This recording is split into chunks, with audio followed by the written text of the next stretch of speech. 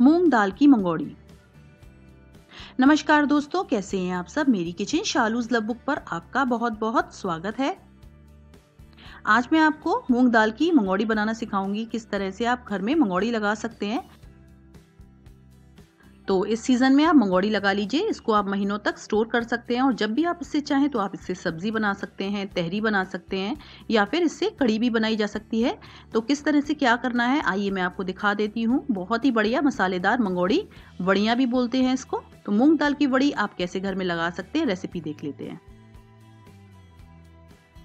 तो वड़ी लगाने के लिए सबसे पहले यहाँ पर हमने मूंग दाल ली है। मैं यहाँ पर छिलके वाली मूंग दाल से वड़ी बनाऊँगी।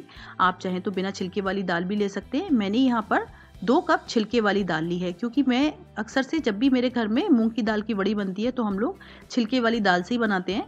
तो ये दाल मेरे पास पड़ी हुई थी। तो सबसे पहले इस दाल को मैं अच्छे से वॉश करूँगी। एक से दो बार वॉश करूँगी और उसके बाद में मैं इसको भिगोने के लिए रखूँगी लगभग पाँच से छः घंटे। तो ये देखिए, आप चाहें तो ये बिना छिलके वाली मूंग की दाल होती है जो, वो भी ले सकते हैं, उससे भी आप बना सकते हैं। ये स्किनलेस मूंग दाल है तो इसको आप डायरेक्टली पाँच से छः घंटे भिगो लीजिए और उसके बाद में पीस कर इससे भी मंगौड़ी दी जा सकती है। फ़िलहाल तो ये देखिए, छिलके वाली मूंग दाल है, आप देख रहे हैं नीचे तो उसको मैं अच्छे से वॉश करने के बाद में उसको सोख करूँगी। तो इसको मैं पानी डालकर पहले वॉश करूँगी और उसके बाद में सोख होने के लिए रखूँगी। तो ये देखिए, भीगने के बाद में कुछ इस तरह से लगेगी, इसके छिलके अलग होने लगेंगे। ये देखिए, ये इस तरह से फूल जाएगी। जब ये इस तरह से फूल जाए तो उसके बाद में इसको हाथों के बीच में रगड़कर, दोनों हाथों से रगड़कर हम इसके छिलकों को अलग करेंगे। ये देखिए तो आप चाहे तो मूंग की दाल की बड़ी को इस तरह से छिलके वाली मूंग दाल से भी बना सकते हैं, या फिर आप स्किनलेस मूंग दाल आपको आराम से मार्केट में मिल जाएगी, उससे भी बनाया जा सकता है। तो जो भी आपके पास अवेलेबल हो, आप वो ले लें, इसलिए मैंने आपको पूरी रेसिपी दिखाई है।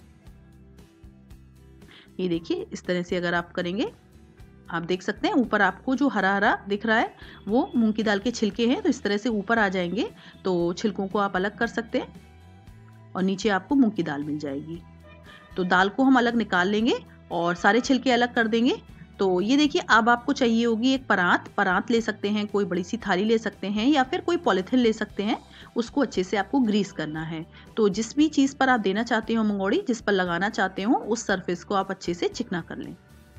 अब ये देखिए, यहाँ पर आप देख सकते हैं, दाल हमने अच्छे से वॉश कर लिया था और ये देखिए, छिलके इसके अलग कर लिए मैंने और इसका पानी बिल्कुल मैंने सुखा दिया है। इसको मैंने छलनी में डालकर रख दिया था ताकि पानी इसका पूरी तरीके से निकल जाए। अब इसमें देखिए, हम यहाँ पर कुछ चीज़ें और ऐड करेंगे। इससे हमारी मंगोड़ियाँ बहुत मसालेदार बनेंगी। तो यहाँ पर तीन इंच अदरक का टुकड़ा आप देख सकते हैं, चार सूखी हुई लाल मिर्च है और इसके साथ ही हमने यहाँ पर ली हुई है हींग। हींग हमने लगभग एक चौथाई चम्मच के करीब ली हुई है। ये सारी चीज़ें हमें पीसने में ऐड करना है। तो ये देखिए, दाल हम पीसने जा रहे हैं। इसके लिए मैंने एक मिक्सी का जार ले लिया है। आप ग्राइंडिंग जार ले लें। और उसमें दाल को ऐड कर दें। ध्यान रखें, बिल्कुल भी पानी नहीं होना चाहिए, बिना पानी के ही हमें दाल को पीसना है। जितना आप ड्राई पीसेंगे दाल को, उतना अच्छा रहेगा। दाल अगर गीली हो जाएगी तो हमारी वड़ियाँ अच्छी नहीं बनेगी और उसे सूखने में भी बहुत ज़्यादा टाइम लगेगा। अब ये देखिए, लाल मिर्चों को हम ऐड कर रहे हैं। लाल मिर्चें डालने से एक तो कलर बहुत अच्छा आता है वड़ी का, साथ ही जो वड़ियाँ हैं, वो जल्दी ख़राब नहीं होती तो उसमें कीड़े नहीं लगते हैं। इसी वजह से मैंने लाल मिर्च ऐड की है। हरा, हरी मिर्च हमें नहीं ऐड करनी है, वरना वड़ियों का कलर थोड़ा हरा हो जाएगा, इसलिए इसमें हरी मिर्च ना ऐड करें।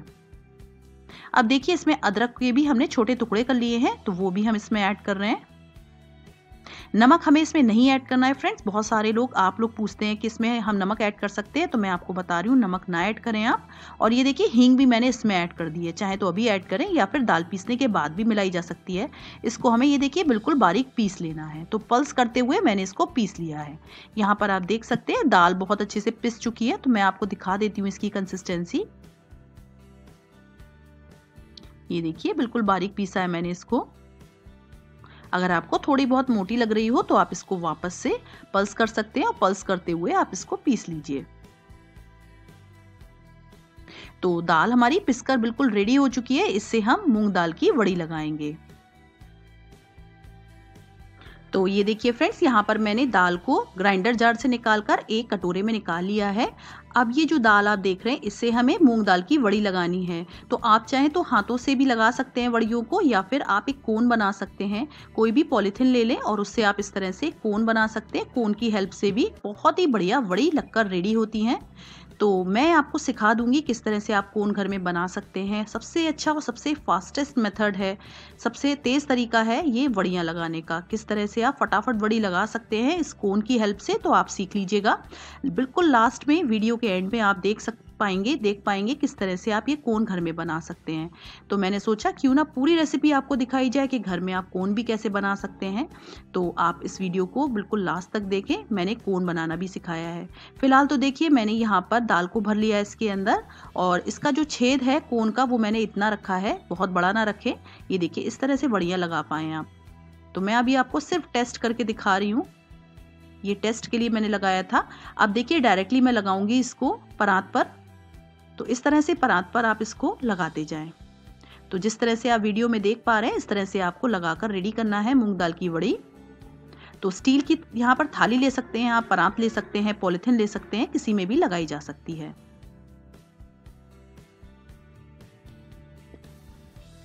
तो ये देखिए, बहुत जल्दी जल्दी आप इस कोन से लगा पाएँगे मूंग दाल की वड़ी। फटाफट लगाकर आप इसको फटाफट सूखने के लिए रख दें। तो एक दिन के अंदर ये सूख भी जाती है। आप चाहें तो दूसरे दिन की भी थोड़ी सी धूप इसको लगा सकते हैं। पहले दिन सूखने में इसको टाइम लगता है और दूसरे दिन आप इसको दो घंटे की धूप लगा दें। तो गर्मियों की धूप में ये बहुत जल्दी बनती है। तो डेढ़ दिन में ही आपकी मूंग दाल की बड़ी इस तरह से लगकर रेडी मिल जाएगी। और जैसा मैंने आपको बताया, अगर आप ये कोन नहीं बनाना चाहते हैं तो हाथों से भी इस तरह से लगाई जा सकती है। थोड़ा थोड़ा मिक्सचर हाथों पर लेते जाएँ। और ये देखिए थोड़ी सी चोच बनाते हुए आप यहाँ पर पड़ियों को लगाकर रेडी कर पाएँ। बहुत डिटेल में मैं आपको ये रेसिपी दे रही हूँ फ्रेंड्स आपको पूरे यूट्यूब पर ये रेसिपी इस तरह से इतनी डिटेल में नहीं मिलेगी। तो आप इस तरह से मूंग दाल की वड़ी को लगाकर ज़रूर देखें। ये देखिए, वापस से मैं कौन से लगा रही हूँ? तो इस तरह से सारी मंगोड़ी हम लगाकर रेडी कर लेंगे। उसके बाद में ये देखिए, इसको हमें इस तरह से धूप दिखाना है। तो पूरी एक दिन की धूप दिखा दें आप। जब आप इसको पूरे एक दिन धूप में रखेंगे इस तरह से तो आप देखेंगे कि कुछ इस तरह से आपको देखने में मिलेगी। शाम के वक्त ये देखिए, कुछ इस तरह से ये सूख जाएँगी।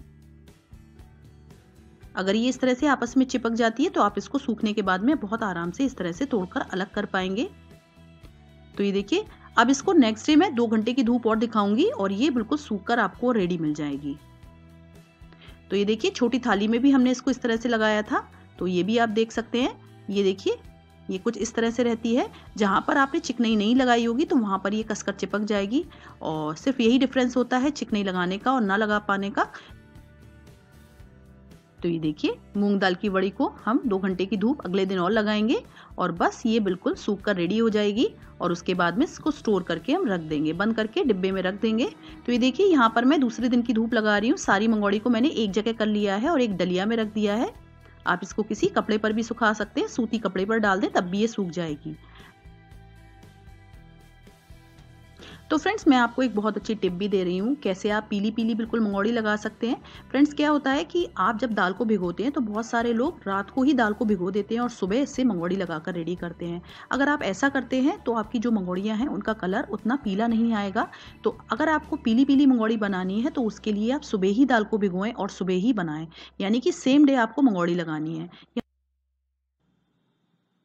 तो यहाँ पर देखिए, आप आवाज़ सुन पा रहे होंगे। यहाँ पर हमारी मंगोड़ी बिल्कुल सूख चुकी है अच्छे से। तो इसको हम एयर टाइट कंटेनर में भर कर रख देंगे और इसको आप साल भर तक यूज़ कर पाएँगे। अब देखिए, जैसा मैंने आपको बताया था, वीडियो के लास्ट में मैं आपको दिखाऊँगी किस तरह से कोन बना सकते हैं आप। तो इसके लिए मैंने एक पॉलिथीन ली है, इसको इस तरह से फोल्ड कर लीजिए। ये देखिए, कोन की शेप में इसको आप इस तरह से फोल्ड कर दें और उसके बाद में इस पर सेलो टेप लगाना है। वैसे तो बहुत सारे लोगों को कोन बनाना आता ही होगा, पर मैंने सोचा क्यों ना उन लोगों के लिए कोन बनाकर दिखा दिया जाए जिन लोगों को नहीं आता है। तो आप देख लें। और अगर आप नहीं देखना चाहते हैं तो आप वीडियो को स्किप कर सकते हैं। ये देखिए, फोल्ड कर दिया है हमने और इस तरह से टेप लगा दें। सेलो टेप लगाना है हमें, ताकि दाल बाहर ना आए। तो कौन अच्छे से बनाए फ्रेंड्स ये देखिए। इस तरह से चिपका दें, जिस तरह से आप वीडियो में देख रहे हैं। अंदर से भी हमें टेप लगाना है। तो ये देखिए, कोन को खोलकर अंदर से भी इस तरह से सेलो टेप लगा दें। अगर आप अंदर टेप नहीं लगाएँगे तो जब आप दाल भरेंगे इसके अंदर तो जो दाल है वो इसकी लेयर्स में बीच में चली जाएगी और जब आप इससे मंगोड़ी लगाएँगे तो आपको बहुत परेशानी होगी। तो इसलिए अंदर टेप लगाना बहुत ज़रूरी है। तो एक टेप मैं अंदर भी लगाऊँगी। अब आप देख रहे हैं इसकी जो टिप है, इसको हमें काटना होगा, क्योंकि अभी तो ये बिल्कुल मेहंदी के कोन की तरह हमने बनाया है। अब इसको थोड़ा सा आप काट लें। शुरुआत में आप कम काटें, इस बात का ध्यान रखें, क्योंकि अगर ज़्यादा मोटा हो जाएगा तो उसको छोटा करने में आपको दिक्कत होगी, पर अगर आप छोटा छेद बनाएँगे, अगर आप उसको कम काटेंगे और उसके बाद में निकाल कर देख लें तो मोटा तो आप उसको कभी भी कर सकते हैं। तो मुझे अंदाज़ है, इसलिए मैंने इसको एक बार में काट लिया है। तो फ्रेंड्स कोन हमारा बनकर बिल्कुल रेडी है? आप भी घर में इससे फटाफट मंगौड़ी लगाइए और नहीं तो फिर हाथों से लगा सकते हैं।